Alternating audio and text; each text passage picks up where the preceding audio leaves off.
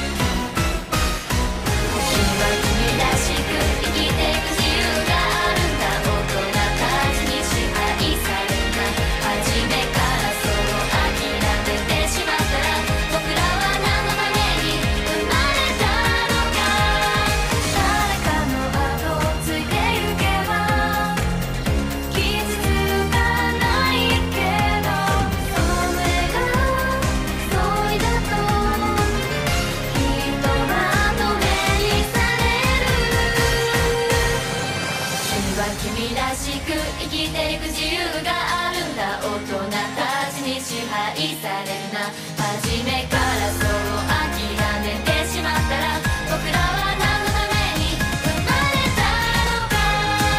夢を見ることは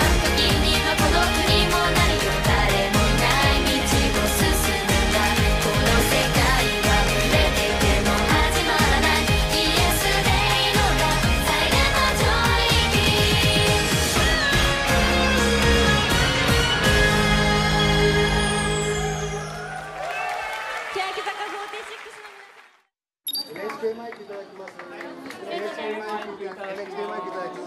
本当に最初のなんか「ドゥリリリリリン」とかで本当になんかもう感動しちゃって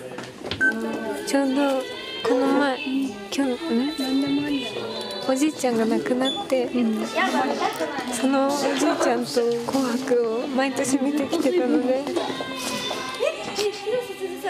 喜んでくれてるなって思います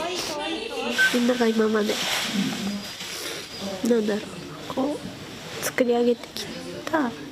積み重ねてきた世界観とか一生懸命やってきたことが自分が入ることで崩れるんじゃないかなとかそれでも普通に受け入れて